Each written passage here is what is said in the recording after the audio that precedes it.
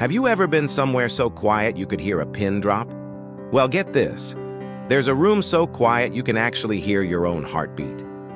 It's called an anechoic chamber, a specially designed room that absorbs all sound waves, creating an eerie, almost unnatural silence.